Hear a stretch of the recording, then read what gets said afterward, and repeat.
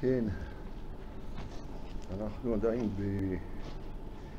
בפסקה ק"ג.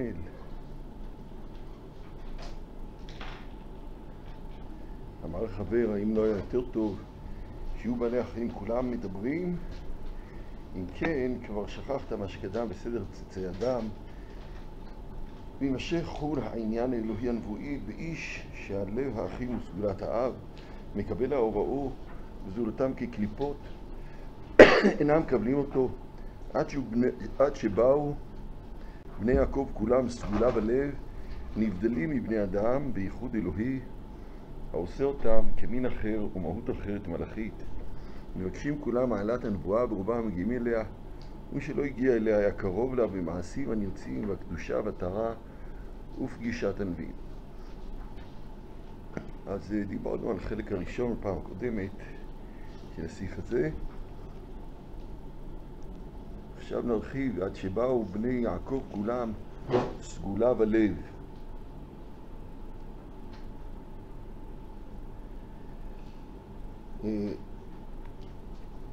וכי יכולה להיות טרוניה מדוע, מדוע אין גם הרגליים לב?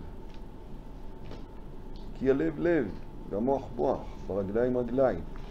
ובזאת כל האישיות כולה אישיות הנושאת חיים ובעלת ערך של המדבר. ובני יעקב כולם סגולה בלב. ובזאת ההוויה כולה מקבלת ערך של העניין האלוהי, על אף שדומם הוא דומם וצומח הוא צומח וכולי. ומדבר הוא גוי שלעולם לא יהיה יהודי, כי אין שום עניין שיהיה יהודי. ועל כן השאלה שלך, זה המשך הסברה, מדוע השאלה שלך, למה שלא תהיה התורה פונה ל- ל- לכולם? אז שכחת על מה שדיברנו, על בני יעקב שהם כולם סגולה בלב. השאלה שלך היא, היא מגוחכת בקונטקסט הזה של הבנת שישראל הם לב והם נבדלים מבני אדם בייחוד אלוהי העושה אותם כמין אחר ומהות אחרת מלאכית. זה לא חינוך או מפעל תרבותי, זה לא מאמץ של יוזמה אנושית יצר את התופעה הזאת. זו תופעה מלאכית, כלומר זו גולת הכותרת של העניין האלוהי ההולך ומחולל, מחייב ומדריג, מדרג את המציאות על כל סדרותיה או שדרותיה עד שמתגלם באיכות התכונית של חיות העם, ומדרגה זו היא מלאכית. כי השאלה הזאת היא, היא קצת מידע שרגע, למה, למה הטוב האלוהי של, של אה, אה, מתן התורה, מתן האינפורמציה האלוהית שמדריכה את האדם כדאי לעשות, אה, אה, אה, כיצד לעשות את המעשה הרצוי, אז למה שכל בני אדם לא יעשו את המעשה הרצוי? למה שיהיה יהיו רק המאושרים, אלה שהם זכו לקבל יחס מאלוהים, קבוצה קטנה. אבל אם אתה מבין, אתה זוכר שדיברנו על זה שהכל זו מערכת אורגנית, והלב פה זה פשוט השדרוג של כל המערכת, אלא גולת הכותרת שלה, אז בקשה שלך לשוויוניות זה לא מתן אינפורמציה שוויונית, אלא זה בקשת המדרגה השוויונית של כל המדרגות המציאות, כמו שדיברנו בפעם הקודמת, בעומק העניין, מה שאתה מבקש זה שהדומם יהיה ישראל. והצומח מזמן כבר היה ישראל, כי הוא כבר נהיה לחי, והחי נהיה לבני אדם, והבני אדם הם כולם ישראל. אז בקיצור, אתה מבקש, בעומק העניין אתה מבקש שלא תהיה בריאה, שלא תהיה מציאות. כי גם ישראל כדאי שהם כבר יהיו בגובה האלוהי המוחלט. אז כבר תשאיר את כל המציאות קלה בגובה האלוהי המוחלט, כלומר, בוא, נוותר על הבריאה. אז הצעתך לא מקובלת. אז כן, זוהי מדרגה מלאכית. מלאך הוא כוח רוחני, נפשי. מדרגה מלאכית זו המדרגה הנשמתית, העניין האלוהי הניסי, הנבואתיות. נבואתיות מלאכית זו עשתה את רישומה ברוח החברה כולה, שבה מבקשים כולם מעלת הנבואה, ורובם מגיעים אליה, ומי שלא הגיע אליה היה קרוב לה במעשים הנרצים, והקדושה והטהרה ופגישת הנביאים. זה עם נבואי. כן? באמת הייתי צריך, אה, זה לא אמור, אני לא אמור להסביר את זה עכשיו, כי זה מה שאתה אמור לזכור מאז אה, תודה. תחילת הלימוד שלנו, שלמדנו על זה שבא אליו אה, בחלום מלאך, אז אז הייתה אריכות דברים גדולה שם בתחילת הספר. אמרתי הרבה דברים, אבל כל פעם, בין היתר, כן, גם אמרתי שזה תודה. אז פה אני רק מזכיר, מזכיר ידועות, שזה כוח רוחני, נפשי, זה המלאך. וזה פה מציין מדרגה מלאכית, כלומר זו המדרגה הנשמתית, העניין האלוהי.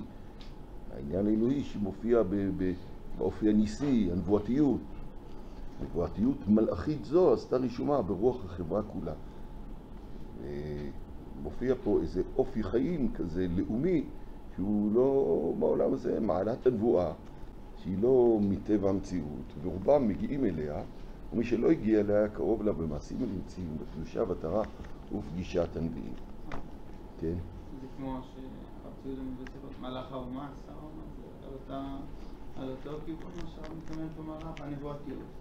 שאין- אתה אומר רעיונות יפים ונכונים, אבל אני אני שואל אומר פה, זה לא- אתה עכשיו, זאת אומרת, אני קצת מניח שאתה יודע מה זה נבואתיות, כי אנחנו על נבואתיות דיברנו אה, לא מתחילת הספר, אלא מאמצע הספר ועד היום, כל הזמן, כל שיעור אנחנו חוזרים אל המושג הזה, אז אם אתה פתאום לא יודע מה זה נבואתיות, אני יודע, אני יודע מה לך זה, שנבואתיות זה- זה הכוונה שר האומה, מה אתה מתכוון להסביר? מה זה נבואתיות באמצעות שר האומה? או אתה מתכוון להסביר שר האומה בשם נבואתיות? לא הזכרתי פה שר האומה. אז, זה לא הנושא עכשיו. בוא נבין מה כתוב פה. תזכיר לנו מושגים שלא קשורים אלינו פה. לא הבנתי מה הקשר בין הנבואתיות למלאך? אני אומר שנבואתיות זה כוח רוחני נפשי. המלאך זה כוח רוחני נפשי. וגם הנבואתיות זה כוח רוחני נפשי. זה תכונת החיים של עם ישראל. זה אותו דבר? כוח רוחני הנפשי זה מלאך, זה כוח מלאכי.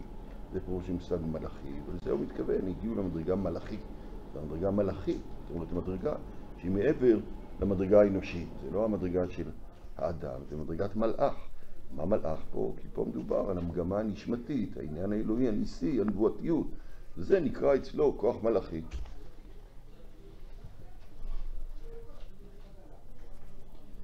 אה, שוזר רבנו את מסכת רעיונותיו באופן אומנותי. בונהו עניין, וכבר בו ומתוכו הוא מכין את הסוגיה הבאה. כדי לגמר את רעיון המדרג האיכותי שיוצר העניין האלוהי המתחבר בנו, הוא מסביר את מעלת הנבואה במפגש עם הנביא, ומתוכו הוא שוזר ובונה את סוגיית מקומו של העולם הבא ביהדות. אה, נקרא את אה, סוף, סוף הפסקה, ודע, אה, בקורס ודע כי כל הפוגש נביא בעת פוגשו אותו ושומעו דבריו האלוהיים, מתחדש לו רוחניות וייבדל מסוגו בזכות הנפש והשתוקקה אה, אל המדרגות ההן וידבקו בענווה ובטהרה. זאת הייתה אצלם הגדול, הגדולה הנראית והאור הבהיר בגמול העולם הבא, כי המבוקש מן העולם הבא איננו אלא שתשוב נפש האדם ותעשה אלוהית.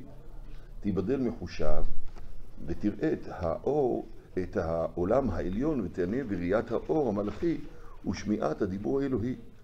כי הנפש ההיא תהיה בטוחה מן המוות כשיכלו חיליה הגופים. כאשר תמצא תורה שמגיעה, שמגיעים בידיעתה וקיומה אל המדרגה הזאת במקום אשר ייחדה ובנסיבות אשר ציוותה בהם, היא מבלי ספק התורה שמובטח בה בהשארת הנפשות אחר כלות הגופות. אז כן, כמו שאמרנו, אה, הנושא הזה ש, שעלה, שבו הוא עוסק, שהוא אה, מעלת הנבואה ורובם מגיעים אליה והרחבה על זה שב, שהעם כולו הוא נבואתי ועובדה שרבים מגיעים אליה וגם אלה שלא מגיעים אליה אז הם אה, גם כן קרובים לה במעשים הנרצים, הקדושה, המטרה ופגישת הנביאים, כי מי שהוא נפגש בנביא הוא חצי נביא בעצמו בשעת, בשעת שומעו את הנביא. לא חצי, אולי הוא שלושת רבעי נביא, הוא חצי נביא בלי שהוא נביא, בלי שהוא נפגש בה, כי יש לו את התכונה הסיגולית של שהוא בן לעם הנבואה, והנבואתיות היא, היא חיותו, היא נשמתו, היא אישיותו הפנים פנימי. ובשעת, בשעת, בשעה שהוא אה, חווה פגישה עם נביא בפועל, אז זה מדביק גם אותו, ו, ואז הוא שלושת רבעי נביא, זה מדויק. אז אה, לכאורה הטיעון הזה הוא בא, בא להסביר לך איזה עם אה, נבואי, עם מלאכי, מדרגה, מדרגה חמישית, לא מעולם הזה, זה המדרגה הזאת הישראלית, וממילא אה, זה התוכן של העניין האלוהי שמתגלה בסגולה, בלב האלה של העם הזה, שברור שאין מה לבקש לשוויון איתה, כי דבר השם והתורה שמתגלית פה זה לא עניין אינפורמטיבי, אלא עניין חיוני, הווייתי, נשמתי, שהוא מדריג את כל המציאות כולה בצורתה האידיאלית. אבל מכאן זה כבר זולג לסוגיה הבאה, שבאמצעות זה אה, תתפתח שאלת, או אה, סוגיית בירור העולם הבא. כי אה, המפגש עם הנביא, אז הוא אומר, דע, כי כל הפוגש נביא בעת פוגשו אותו ושומעו דבריו אלוהים, מתחדשת לו רוחניות כי הנבואה זו שפעה אלוהית פנימית, המופיעה בנשמה, שיש בה סחף רוחני הפועל על הסביבה. על כן הסמוך סמוך יותר, לפי ערך קישורו הממשי והנפשי רוחני, כך הוא עילויו. במפגש עם הנביא ושמיעת נבואתו מחוללים התרוממות פנימית ובלשון אה, רבנו ייבדל מסוגו בזכות הנפש והשתוקקה אל המדרגות ההן והתדבקו בענווה ובטהרה. כלומר, המעלה הנבואית היא בראש ובראשונה זוך הנפש והשתוקקות אל הדרגות האלה והענווה והטהרה. המידע וההתחכמות אינן נזכרות כאן. ואומנם החסיד אצל רבנו קודם במעלתו לחכם. החסידות היא בסיס הנבואה, ככה יש בתהילים. אז דיברת בחזון לחסידיך. אמנם אצל הרמב"ם החוכמה משלימה את האדם יותר מן המעלה המוסרית ויש פה עמדה חלוקה, שזו שיטה מיוחדת של רבנו. אה, כי הרמב"ם סובר שהמושכלות מצליחים את האדם הרבה יותר עוד מהצדק של ההנהגה. והרמב"ם כותב שכבר הוכח בהוכחה מופתית שמעלות האופי כלומר מידות מוסריות הן הכנה למעלות השכליות. אבל זה לא שיטת רבנו. והמדרגה הזאת של החסידות, זו המדרגה העליונה שהיא מתמשקת עם הנבואה. היא זאת שמובילה לנבואה. והזכות הנפש והשתוקקה אל המדרגות ההן והידבקו בענווה ובטהרה זה התוכן של דבר השם הנבואי והתורי. ובזאת הקדוש ברוך הוא פונה בראש ובראשונה אל המציאות. אם זה האינפורמציה, אז אדרבה, אולי כולם שווים בה, ככתון וכשחור כלבן, כי כולם ברואיו. אבל אה, זה לא אינפורמציה, זה הוויה חיונית, והקשר אליה היא במדרגה המוסרית. השתוקקות, זכות הנפש, השתוקקות אל המדרגות ההן והידבקו בענווה ובטהרה, זו, זה הרוח הנבואית שמתחילה לפעמים לדפוק בליבו של האדם. והרוח הנבואית זה הרוח, התורני, הרוח התורית. והיה ואדם הוא נמצא במדרגות כאלה ועוד יותר, אז זה נקרא שפניית הקדוש ברוך הוא אליו בתורה. אז ממילא אנחנו מדברים פה על מדרגה אישיותית. והמדרגה האישיותית הזאת זה מדרגה של העם כולו, שהוא על הרצף של האישיות הזאת, של הגובה הזה.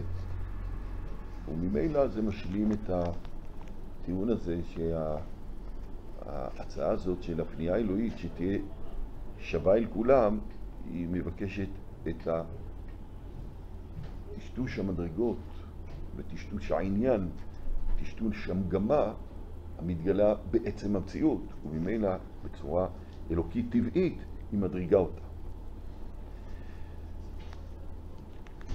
והנה מכאן הוא נודד הלאה, כי באמת התכונה הזאת של הנבואתיות זה בכלל לא העולם הזה, זה עולם הבא. ומי שהיה נביא, אז הוא כבר היה בעולם הבא, בעולם הזה. זאת הייתה אצלם הגדולה הנראית והאור הבהיר בגמול העולם הבא. בהתאם לקו, מתחילת דברי החבר העוקב אחרי, אחרי הראייה, שאחריה אין צורך לא בראייה ולא במופת, אז על, על זה הוא מדבר גם פה, זוהי הגדולה הנראית והאור הבהיר.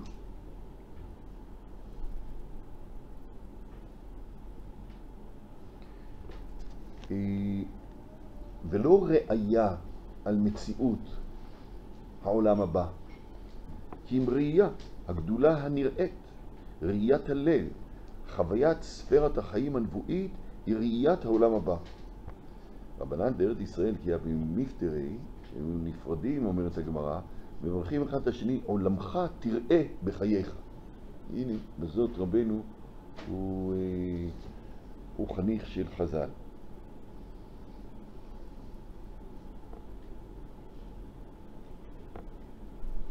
אה,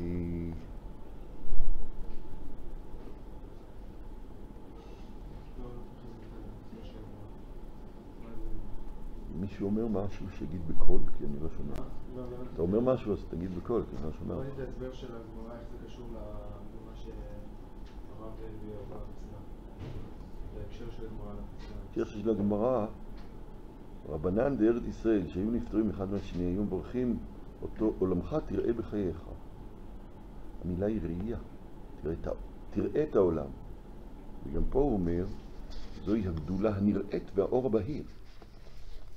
זאת אומרת, זאת הייתה אצלם הגדולה הנראית והאור הבהיר בגמול העולם הבא.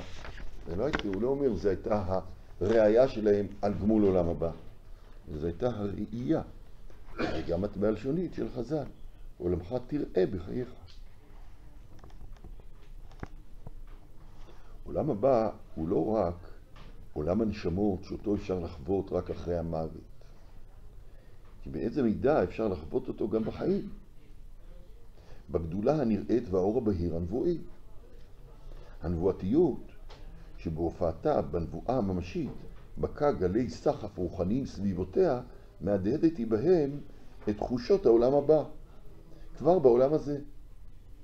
ספרת החיים הנבואית שבעולם הזה היא התנוצצות העולם הבא.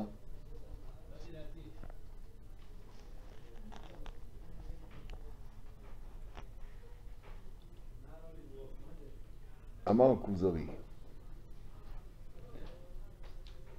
סעיף קד אך יהודי זולתכם שמנים ודשנים מיעודיכם.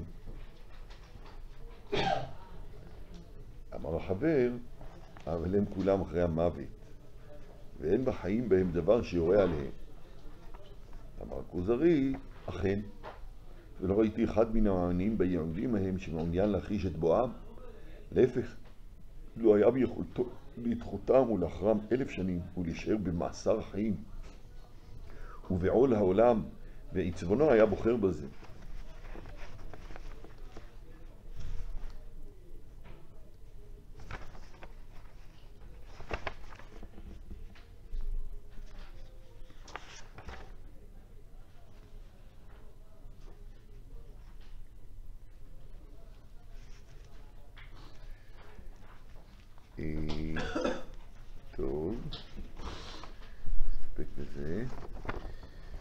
אנחנו נכנסים לפרק חדש, העולם הבא. סוגיית העולם הבא היא המסגרת אה, החותמת את המאמר הראשון. התברר בה שהנבואתיות והעניין האלוהי החי בישראל, קו הליבה של המאמר הראשון, הוא אור העולם הבא שבעולם הזה. ועל כן הקשר לעולם הבא אפשרי בישראל אף בחיים עצמם.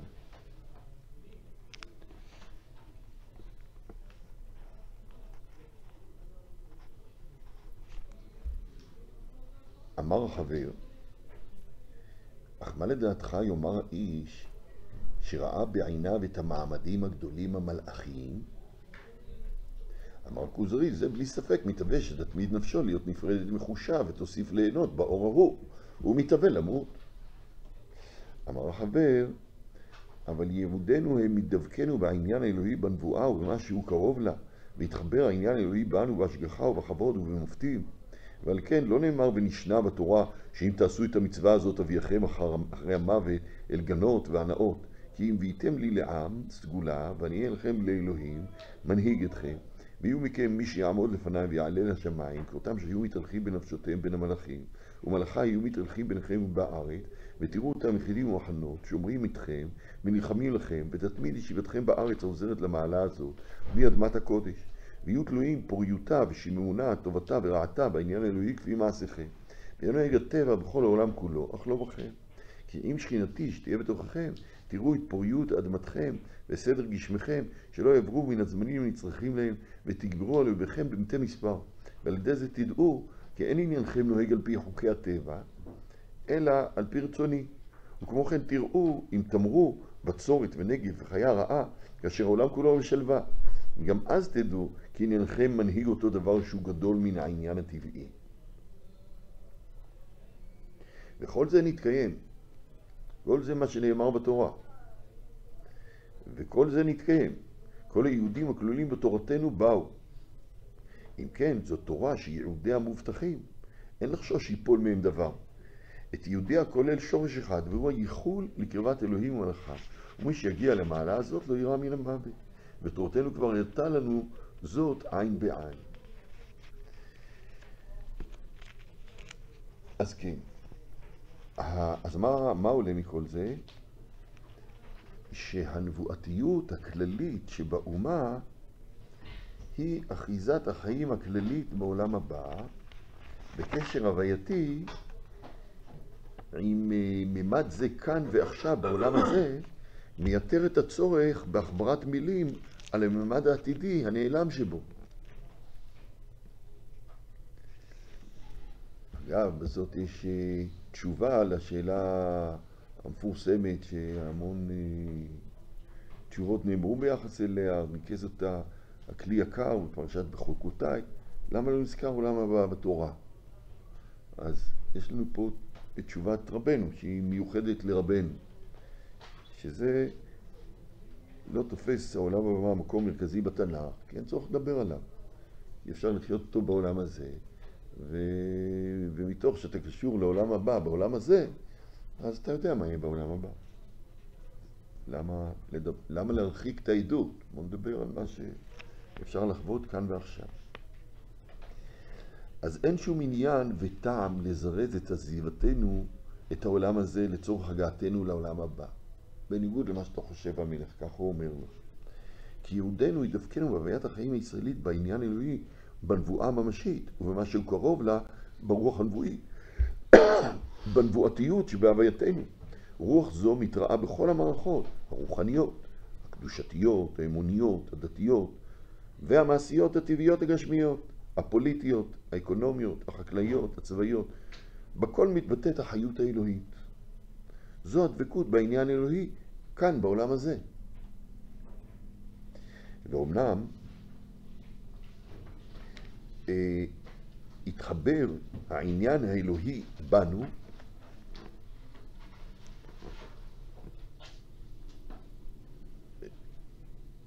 הכוונה, התחבר העניין האלוהי בנו כמו שדיברנו על ההתחברות, עצם המציאות שלנו, עצם ההוויה שלנו. התחבר העניין האלוהי בנו בעצם מציאותנו, רוח החיים האלוהית, הנבואתיות שבעצם הווייתנו, שכינתי שבתוככם, בלשונו של רבנו, היא בעצמה העולם הבא חודר וממלא באורו את מציאותנו שבעולם הזה. ההופעות האלוהיות האדירות שבריכוז הוויית חיינו הפנימית במעמדים הגדולים מכונני ההיסטוריה, היסטוריית האומה, אינן גורמות לרצון להיפרד מהמופעים הפחות מרוכזים של חיות זו. אדרבה, הגעגועים לשחזור המעמדים האדירים האלה הם העניין שלנו לא למות. לא אמות כי אחיה ואספר מעשייה. למה למות? יכול לחיות ולספר מעשייה. יהודינו אם דווקנו בעניין האלוהי בנבואה ובמשהו קרוב לה בעולם הזה, והתחבר העניין האלוהי בנו בהשגחה ובכבוד ובמופתים. ועל כן לא נאמר ונשנה בתורה שאם תעשו את המצווה הזאת אביאכם אחרי המוות אל גנות, גנות והנאות.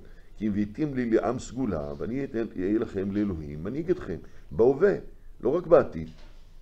ואתם קרואים לממש את העתיד בהווה. והספירה האלוהית מורגשת בכל החושים, מהרוחניים הנשמתיים ועד הגשמיים המעשיים. על כן, ויהיו מכם מי שיעמוד לפניי ויעלה לשמיים, כאותם שהיו מתהלכים בנפשותיהם בין המלאכים, ומלאכי יהיו מתהלכים ביניכם בארץ, ותראו אותם יחידים ומחנות, שומרים אתכם ונלחמים לכם.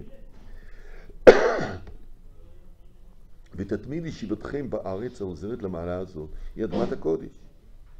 כל ישראל יש להם חלק לעולם הבא, שנאמר, ועמך כולם ירשו ארץ. אז תרשו את הארץ, אז יש לכם קשר לעולם הבא, זה אותו דבר. זה הלשון של חז"ל, זה התפיסה של חז"ל, זה התפיסה של התנ"ך, והתפיסה של רבנו. מתוך כך, מיותר לדבר על עולם הבא. אם כן, אדרבה, ירושת ארץ זו היא לנו אחיזה בעולם הבא, כי אחיזה בארץ מעלה אותנו אל מדרגת העולם הבא. באמצעותה אנו יכולים להגיע לאיכויות הנשמתיות האלה. זו אדמת הקודש המצמיחה לנו את הקודש. אדמת הקודש המצמיחה לנו את הקודש, את גדלות העניין האלוהי.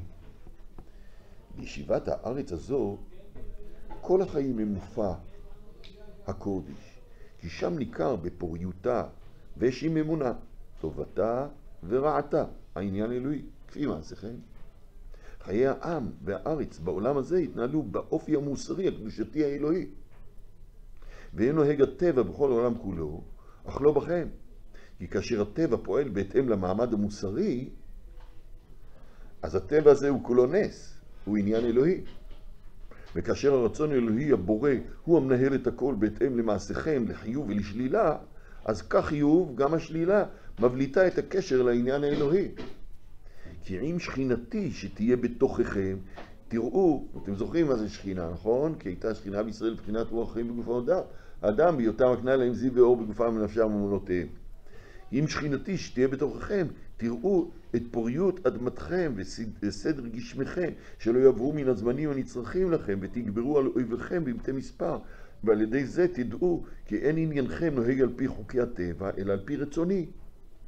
וכמו כן תראו אם תמרו בצורת ונגד וחיה רעה, כאשר העולם כולו בשלווה, וגם אז תדעו כי עניינכם מנהיג אותו דבר שהוא גדול מן העניין הטבעי.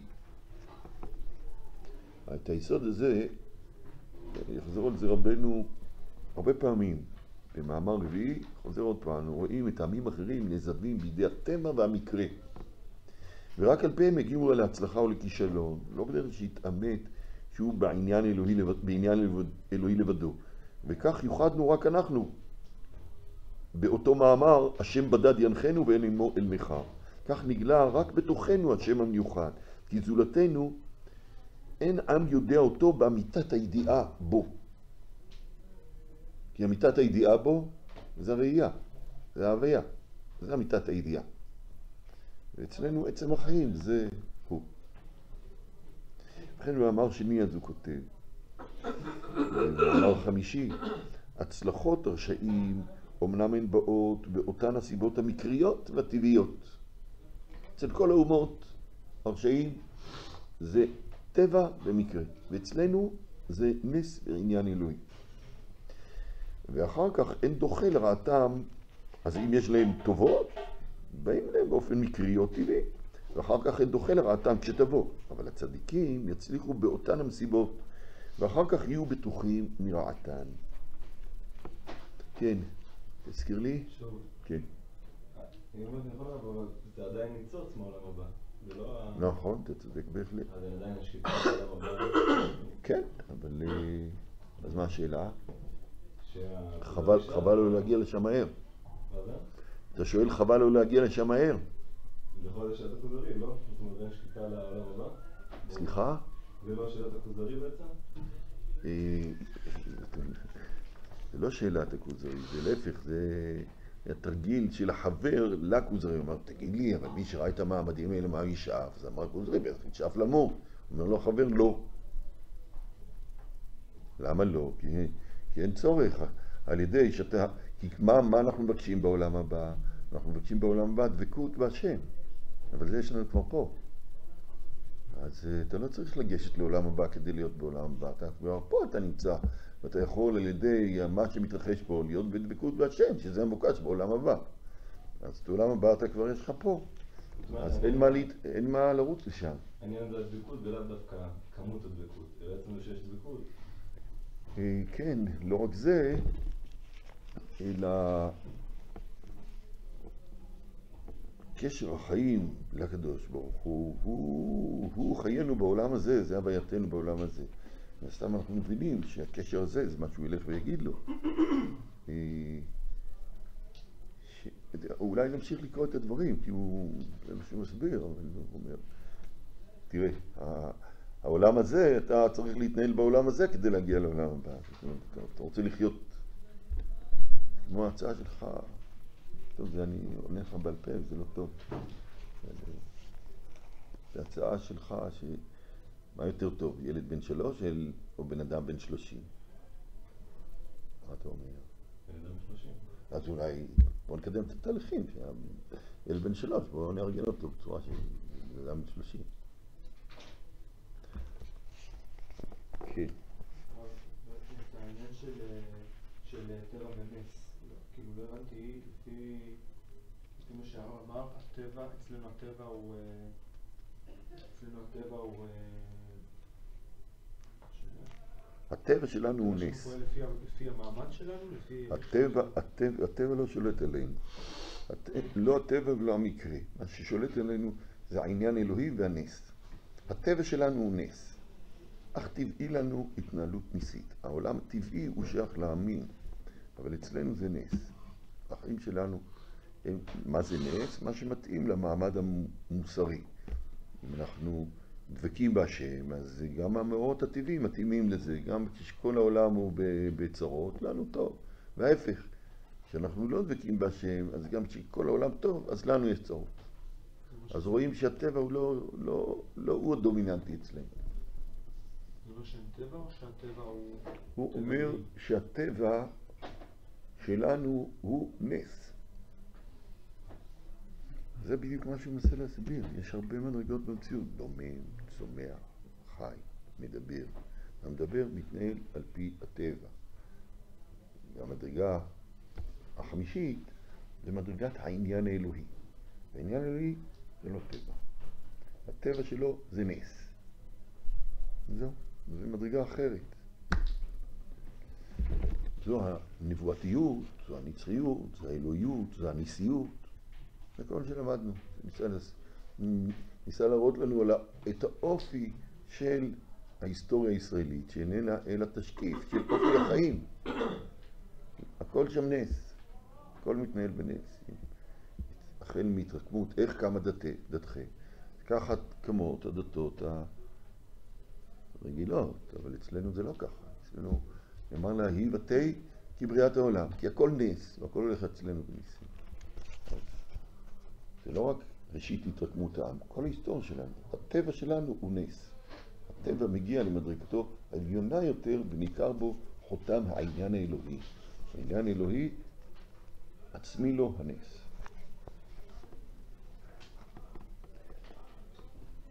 כן.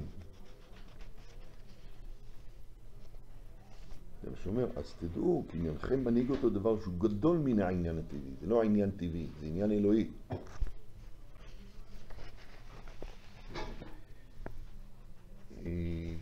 השם. אה,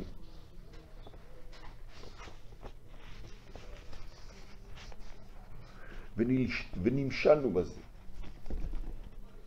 נמשלנו בזה לחבורה שהייתה במדבר, והלך אחד מהם להודו. וקיבלו מלך הודו בכבוד וגדולה, מפני שידע שהוא מן החברים ההם, שבימי עבר הכיר את אבותיהם, שהיו מאוהביו, ונתן לו מתנות יקרות, שיישא אותם אל חבריו, הלביש, הלבישו בגדי חמודות, ושלח עמו אנשים מפמלייתו, שלא עלה על דעת איש שיצאו מלפני המלך וילכו אל המדברו. וציווהו במצוות, וחרט עמו בריתות לקבל עבודתו. ובאו עם השלוחים ההודים אל חבריו, ובא עם השלוחים ההודים אל חבריו, ושמחו בהם החברים, והשתדלו בכבודם, ובנו להם ארמון, והושיבום בו. והחלו החברים להשתדל להגיע להודו, לראות את פני המלך. ובעזרת השלוחים שהורו להם את הדרך הקצרה והישרה ביותר, עשו זאת בלא טורח רב. וידעו כולם כי מי שרוצה ללכת להודו יוכל לעשות זאת בקלות אם ידבק בעבודת המלך ויכבד את שלוחיו המדריכים בדרך אליו. ולא צריכו לשאול למה נעבוד את העבודה הזאת, כי הטעם הוא נראה לעין, כדי להתחבר במלך, שחברתו היא הצלחה טובה העושר. עד כאן המשל. והנמשל הוא, החברים הם בני ישראל. ההולך הראשון הוא משה, וההולכים האחרים הם שאר הנביאים, והשלוחים ההודים הם השכינה והמלאכים, ובגדי החמודות הם האור המושכל, השורה בנפשו ובנבואה, והאור המורגש השורה על פניו, והמתנות היקרות השלוחות הם שני הלוחות עם עשרת הדברים. ובעלי הנימוסים האחרים לא ראו מכל זה מאומה, אך אמרו להם, קבלו, את עבודת, המ... קבלו עבודת מלך הודו, כאשר קיבלו עליהם החברים ההם, ואחרי המוות תגיעו אל המלך, ואם לא, הוא ירחיק אתכם ויעניש אתכם אחרי מותכם. אמנם היה מהם מי שאמר, לא בא אלינו אף אחד שסיפר שאחרי מותו הוא בגן עדן או בגיהינום. אך רובם העדיפו את השמירה על המקובל ותיאום עמדתם, וקיבלו על עצמם את אותה עבודה, וקיוו נפשותם, וקיוו נפשותם בסתר תקווה חלושה, אך בנגלה תקווה חזקה ונחרצת, ומתגדלים ומתפארים לפני ההמון הרחב באמונה. ואיך יתפארו אלה בטענת מה שיגיעו אליו אחרי מותם, לעומת מי שיגיע לזה בחייו? והלא טבע הנביאים והחסידים קרוב אל הקיימים בעולם הבא, קיום נצחי יותר מטבע מי שלא קרב למדרגה הזאת.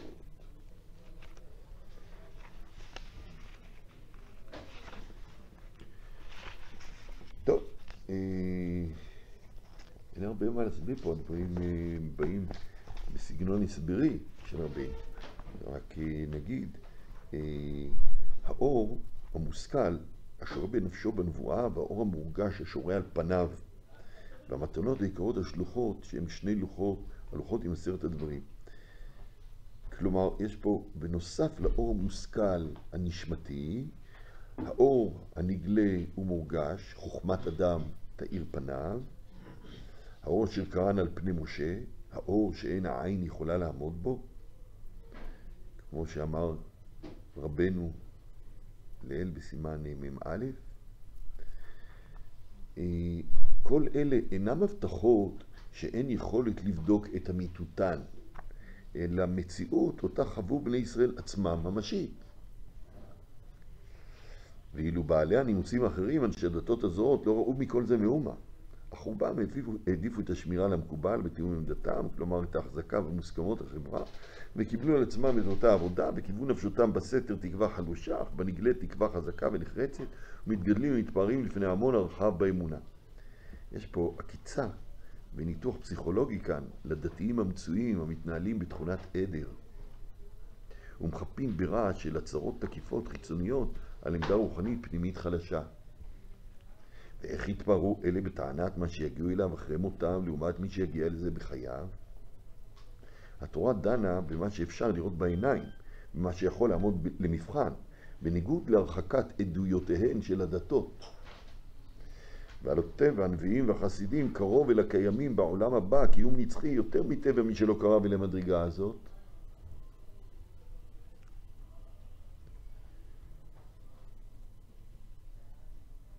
שוב עולה אה, אותו בירור המלווה אותנו מתחילת הספר. או אולי לפני כן יש פה, כתבתי פה הערה, לא מהותית, אבל יש פה, אה, יש פה אור מושכל השורה בנפשו בנבואה והאור המורגש השורה על פניו. אה, אז זה מתאים לחלוקה מפורסמת של מוטבע, מורגש ומושכל. זו חלוקה של הקדמונים. יש, ורבנו גם כן משתמש בזה בחמשת המדרגות. זאת אומרת, יש מחצבים, אחר כך טבע, אחר כך נפש ואחר כך שכל. אז הנפש מקבילה ל, ל, למורגש. וזה מוטבע, מורגש, מושכל. ופה זה האור, אה, אה, האור המושכל אשר בנפשו והאור המורגש אשר על פניו. אז אה, ובאמת בעולת ראייה הרב מחלק את זה, מקביל את זה לנפש רוח ונשמה. זאת אומרת, האור המושכל זה הנשמה והמורגש זה הרוח והמוטבע זה, זה הנפש. סגור סוגריים, לא משנה. חזרה לעצם העניין. אה, שוב עולה אותו בירור המלווה אותנו מתחילת הספר. תוכן האמונה אינו איזה ריגוש או זיקה אישית איזוטרית, מיסטרית, מיסטית, אה, לבורא. כי אם, אה, מה זה אמונה? אמונה זה הוויית החיים הנשמעת מעומר החיים הכללי של האומה. האופי הייחודי של זרימת החיים הכללית של האומה ההולכת ומתגלמת בהיסטוריה. הוא הביטוי היותר מלא ושלם של היחס לאלוקים אצלנו. זו הגדרת המושג אמונה. במסגרת זו הערכים. זה עניין התוכן הדתי. זה המבדיל בין קודש לכל בין ישראל לעמים. קודש ישראל הוא ספרת החיים המלווה את כל אופי החיים הישראלים מראשית ועד אחרית כאורגניות אידיאלית אחת. האמת העולה מן ההוויה הנצחית שהיא עצמה דבקות מהעניין האלוהי. זו הנבואתיות וזו הניסיות. זו הבריאה לא רק כאקט הקודם להיסטוריה, אלא כממד המלווה את כל ההיסטוריה וחותם את, את חותם המגמה, הרצון והערך האלוהי בהוויה כולה. מציאות זו אחת היא בעולם הזה ובעולם הבא. זה התוכן הישראלי.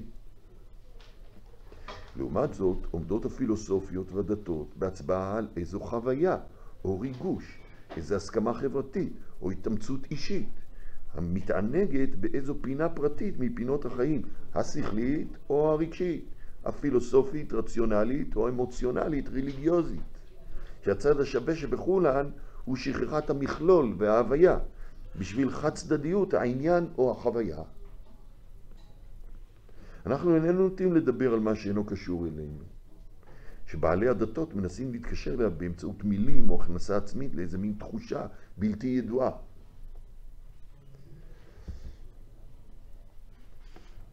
בשולי העולה מן הדברים.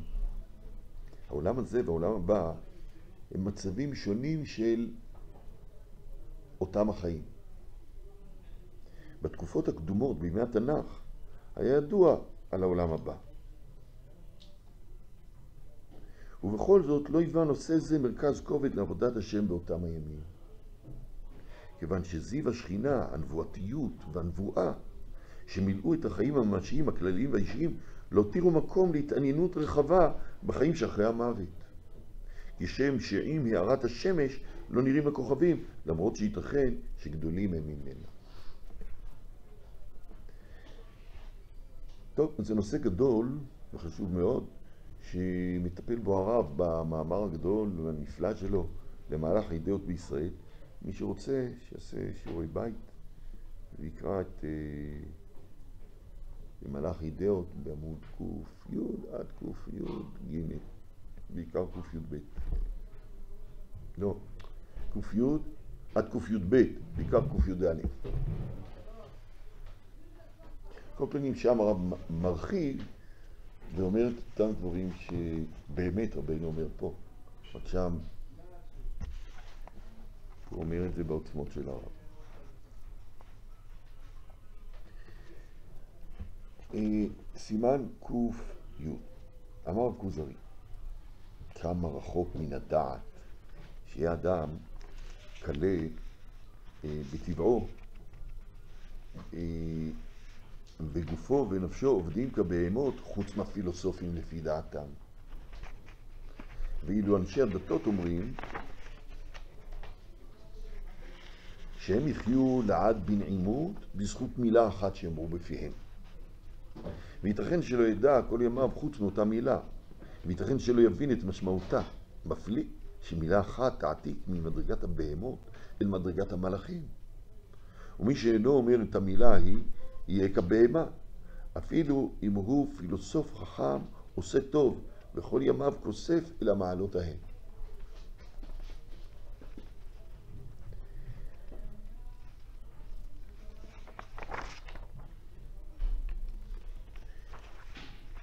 אז כן, אז אומר פה המלך, מגיב המלך, אל הדברים של אה, החבר.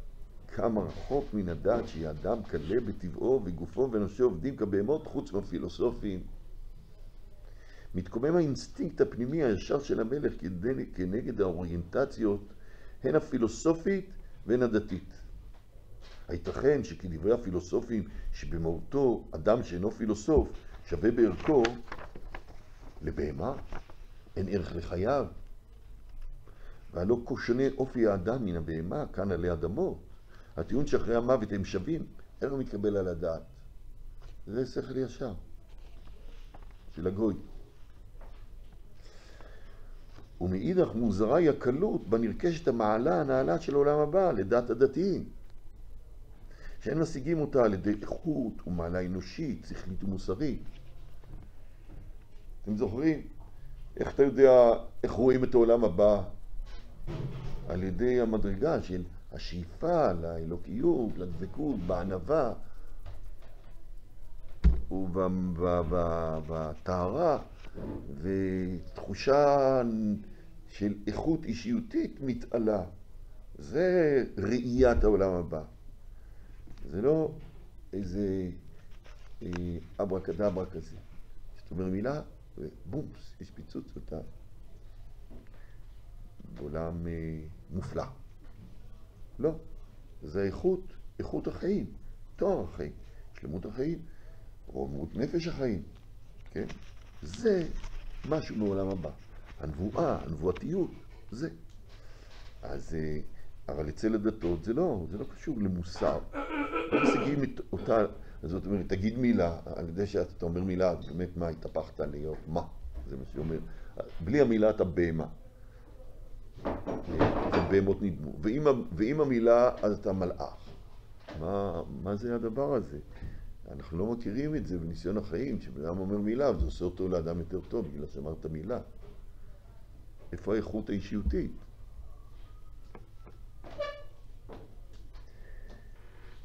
כן. אז מוזרה היא הקלות בה נרכשת המעלה, זה ביקורת על שני הכתבים. זה שאי אפשר להגיע לשם, רק הפילוסוף, שהוא נולד כזה, אז הוא שייך לעולם הבא, או שאפשר להגיע לשם בקלי קלות, רק שאתה אומר מילה. מוזרה היא הקלות בה נרכשת המעלה הנעלית של העולם הבא, לדעת הדתיים שאינם משיגים אותה על ידי איכות ומעלה אנושית שכלית ומוסרית, אלא על ידי הכרזת מילה שיכולה להיות חיצונית לנפשו, לעצמיותו. ופילוסוף המתעמת כל חייו, לפי הדתיים, אז פילוסוף המתעמת כל חייו בהתקדמות אינטלקטואלית, והאיש הטוב, החסיד, שהתעלה והשתחרר מצדי אישיותו הבהמיים, מאחר ולא אמרו את המילה הקריטית, אז הם על פי אוריינטציה דתית ירדו לעומק שחת. חסר בזה הדהוד של השכל הישר. סליחה? למה הוא אמר את זה במאמר ראשון? אנחנו נמצאים במאמר ראשון. לא, בפסקה ב', בהתחלה בהתחלה, שהוא אמר לו, רואים דבריך מספיקים, ואחרים מספיקים משלתי.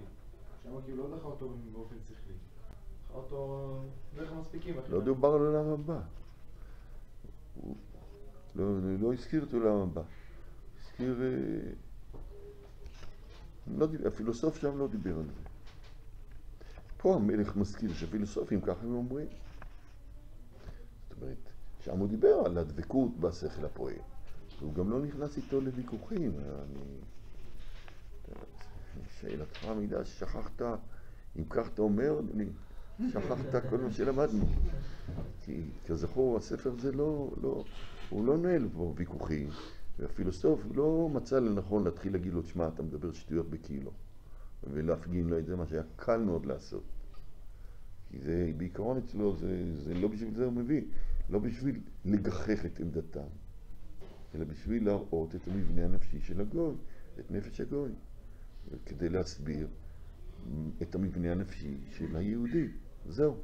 אז לכן ממש אין לו עניין.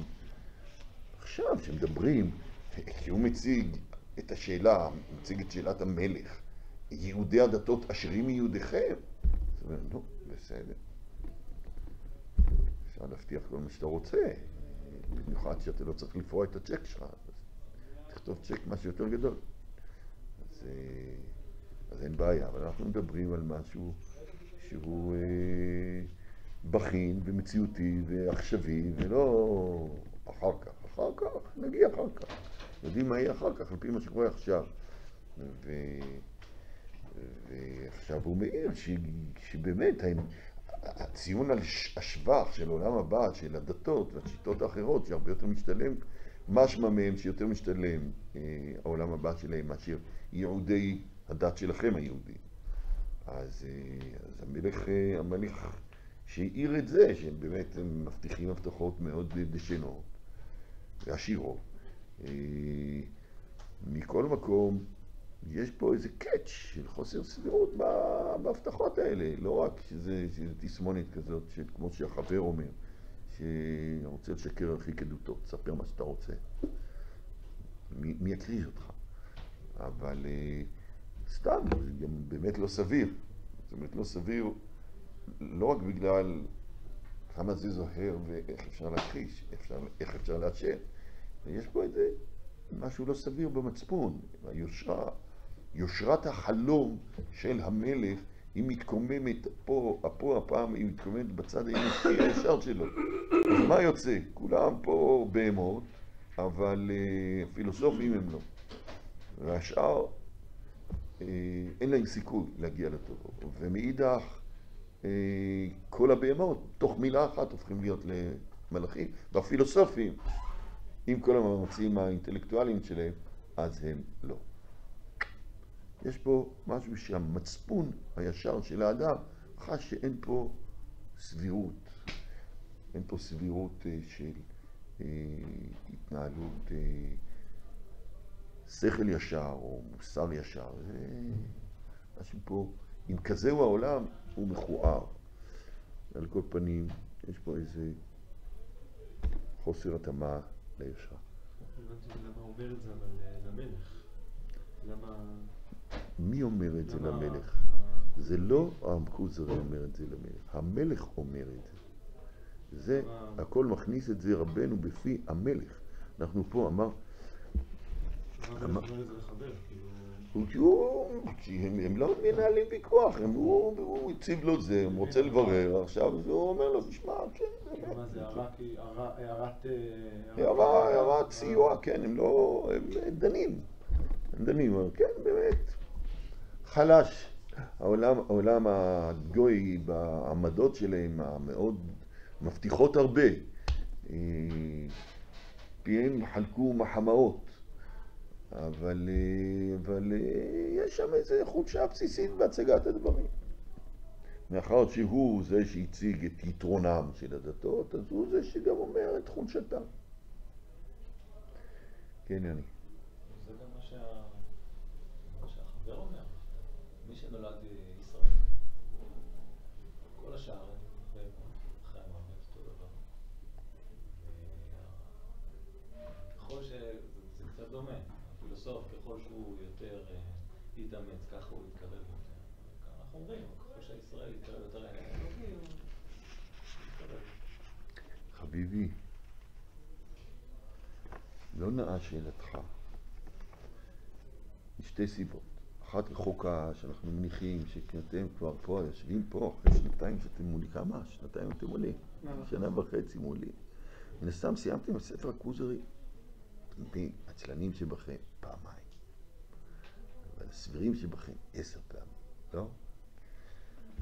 אבל יתרה מזאת, את סעיף קי"א שמתחת עיניך, פה, אתה לא מבחין. כי נכון, אני לא הקראתי לכם, אבל זה לא מקובל שכל מה שאתה יודע זה רק מפי גבורתי. זה פשוט לא... זה לא, זה לא, זה לא הגישה הנכונה, לא אליי ולא ל... תראה, אנחנו שוללים שום אדם מול מעשיו הטובים, איזה אומה שיהיה. טוב. אה,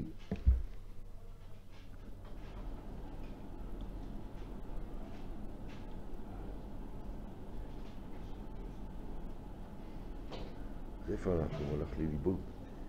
כן. אז הנה, הנה, אז אה, עכשיו בדיוק אנחנו באמת צריכים לקרוא את הסעיף הזה. אז אמר חבר, אין אנחנו שוללים משום אדם גמול מעשיו הטובים מאיזה אומה שיהיה. אבל אנחנו רואים הטובה הגמורה לעם הקרובים בחייהם, ואנו עורכים מעלותם אצל האלוהים, האלוהים אחרי מותם בערך ההוא. אז כן, אין אנחנו שוללים משום אדם גמול מעשיו הטובים מאיזה אומה שיהיה. אנחנו לא חושבים שהעולם הבא הוא מקום, ש...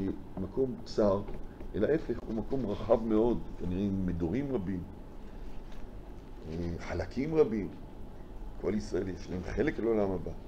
לא בטוח אותו חלק, אבל לכולם יש חלק. ומסתבר שגם לאומות העולם יש מרחבים בעולם הבא, המקום פתוח. וכל אחד יכול להאחז בו כפי עניינו. אין אנחנו שואלים משום אדם גמול מעשיו הטובים מאיזה אומה שיהיה. אבל אנחנו רואים הטובה הגמורה לעם הקרובים בחייהם, ואנו עורכים מעלותם אצל אלוהים אחרי מותם בערך ההוא. אמנם ברמה האישית הפרטית דומה לאיש חסד כמפעלו. הוא מגיע הטוב האלוהי לכל אחד כזיקתו אל הטוב. כי הזיקה לעניין אלוהי, הקרבה האלוהי, היא כמידת הטוב הקנוי באדם. והיה באומות העולם יש טוב הקנוי להם, אז כפי הטוב הקנוי להם זה הקשר שלהם לאלוהים, וזה הקשר שלהם לעולם הבא. זהו, כל אחד מה שהוא הוא. אך הקניין העצמי של הטוב וההזדהות עם העניין האלוהי אינו רק זה שנוצר מתוך יוזמת האדם.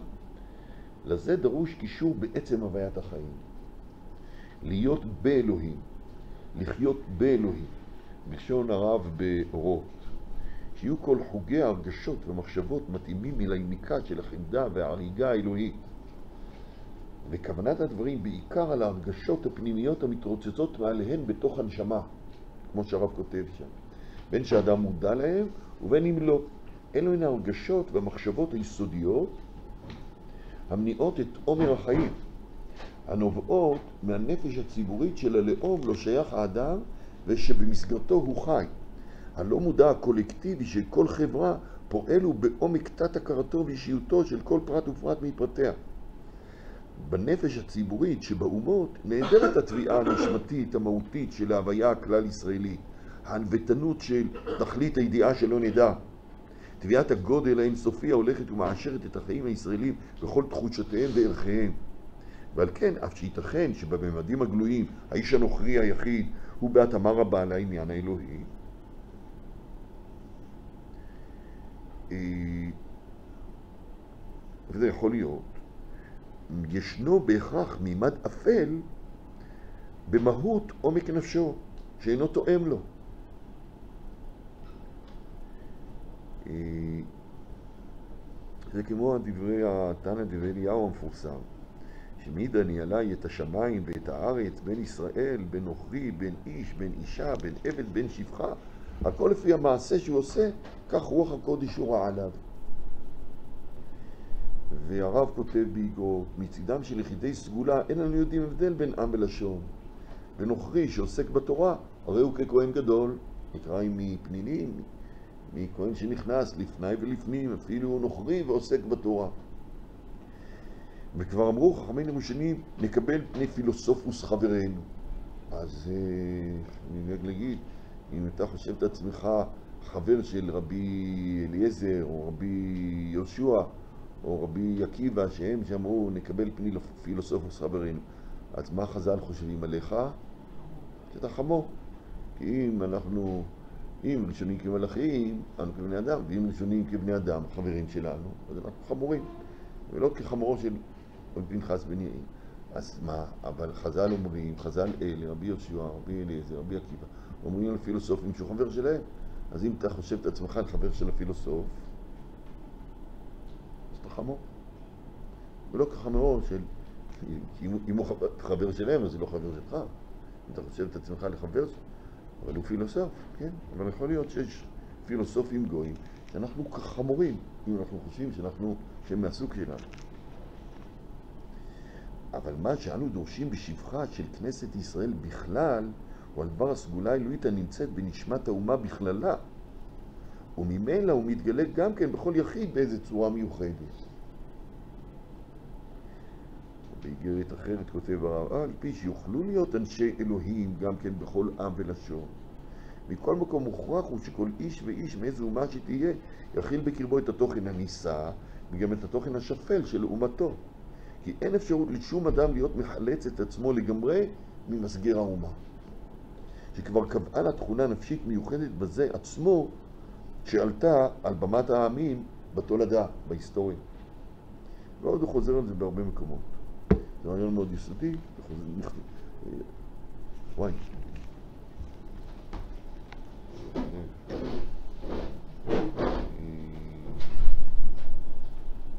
טוב, אנחנו נחזור על זה בפעם הבאה, אני אצא, אני לחזור מפה. מה אתה אומר? על מה אנחנו לומר? אני אחזור עוד פעם מסעיף אה, קי"א.